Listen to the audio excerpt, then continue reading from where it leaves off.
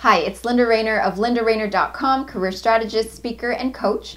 And in this video, I'm going to show you exactly how to answer the where do you see yourself five years from now interview question in a way that gets you closer to landing the job offer without putting off the interviewer. And here's a hint. The answer doesn't involve you saying that you want to be a manager or director in the next five years. So if you struggle with this interview question, then pay attention because I have a secret formula that I think works across any job title and any industry. Now, before we answer this question, we need to understand why the employer is asking us this in the first place. Reason number one, they want to make sure you actually want to be there in the long term as realistic or unrealistic as that may seem, if you give any hints that you plan to be elsewhere and not work at this company from now well into the future, then they'll consider that as a red flag and likely not consider you further in the process.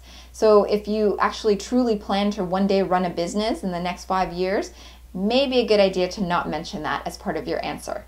Reason number two they want to weed out the ones who want this job and this job only versus the ones that just want a foot in the door or are already thinking about the next job title.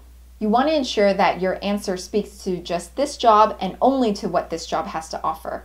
Sometimes companies don't know if they'll have a higher level role for you to go into in the next two, three, five years. So if you make it sound as if it's your expectation to be promoted into a manager title, manager role, or, or director role in the next X number of years, then they'll likely just err on the side of caution and not consider you further because they may not be able to provide you what you want. Or they'll see you as being overly ambitious and using only this opportunity as a stepping stone to get to the next level.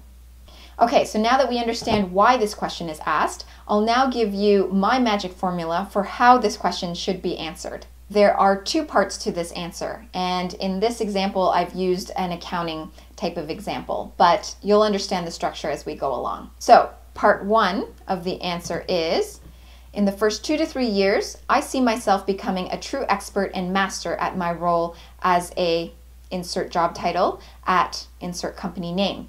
I plan to really immerse myself in this position and understand areas that can be improved on, really get to know the ins and outs of the business, and look for opportunities to make the finance team and department as efficient as possible.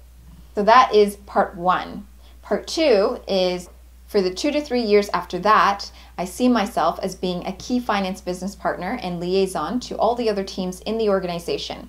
I want to be able to extend my expertise and offer help to other departments, whether it be sales, marketing, or operations, using my skills and knowledge gained from my role. The reason why this formula works so well is because, firstly, you're keeping it general. You're not talking about specific titles that you want to achieve, which may put off some interviewers. And instead, you're talking about what you'll do instead of who you'll be in the next five years. And secondly, you show that you're eager and that you truly want this job, that you're focused on this role and this role only, that you simply want to help and give value. So if you've been saying anything other than this and you like this little two-part formula that I've come up with to answer the where do you see yourself 5 years from now interview question, then feel free to use it and let me know how it goes. So now you know how to answer this interview question, but do you know if your resume is good enough for the interview in the first place? Feel free to download a copy of my 10 Ultimate Resume Hacks cheat sheet located in the link below where you'll learn tips and tricks on how to land more interviews and ideally job offers. If you like this video, then please give it a thumbs up, subscribe, share it with your friends. Thank you so much for watching and I will see you in the next video.